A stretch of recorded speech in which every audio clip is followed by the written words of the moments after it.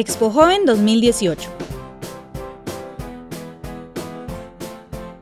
Formando una generación de jóvenes emprendedores.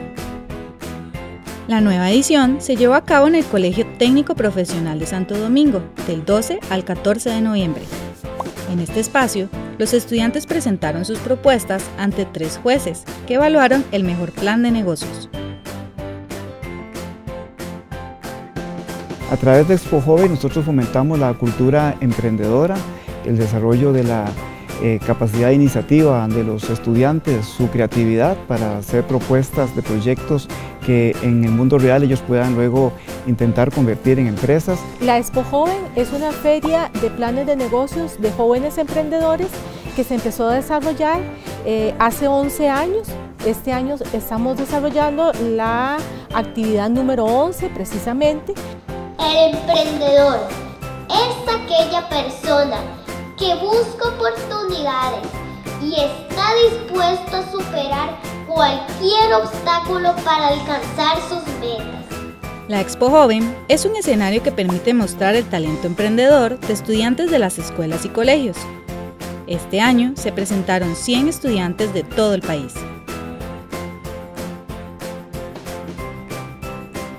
Bueno, nuestra compañía se dedica a la elaboración de productos para el cuidado de la piel a base de leche de cabra y manteca karité, siendo la leche de cabra uno de los productos estrella, ya que en la zona norte se produce mucho este, este recurso y no es bien aprovechado para la industria de la cosmética.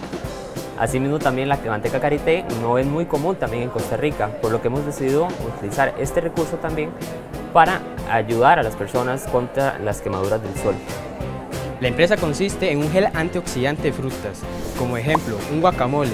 Usted lo prepara, pero usted va, como va pasando el tiempo, se está oxidando, se pone oscuro. El gel lo que hace es detener la oxidación y mantenerlo fresco. Nosotros de TEC nos dimos a la creación de una pajilla de vidrio detectora de drogas, dentro de las más comunes la ketamina, la fetamina, la cocaína y la más preocupante por las autoridades hoy en día, que es la GHB, conocida como éxtasis líquido. Mi idea de negocio eh, son eh, tazas, botellas, eh, camisetas, todas hechas con la técnica sublimación y basadas en una temática de manga, anime, películas, series. Bueno, primero que todo teníamos la idea de ayudar a que, bueno, ayudar a las zonas verdes, a los agricultores, personas que trabajen, que ese es su trabajo.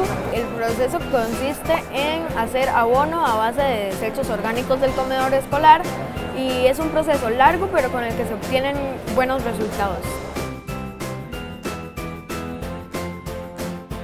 digamos, desde la parte de publicidad hasta la parte en cómo vas a vender tu producto, digamos, cómo hacer que a las personas le llamen la atención. Uno lo que va aprendiendo es a superarse poco a poco, ¿verdad? A pesar de los obstáculos que hemos llevado en el lapso de, de tanto institucional, regional y así, y es como más que todo a no rendirnos. He aprendido lo que es luchar por algo, lo que es esforzarse por algo y por querer hacer las cosas bien principalmente. Hagamos lo necesario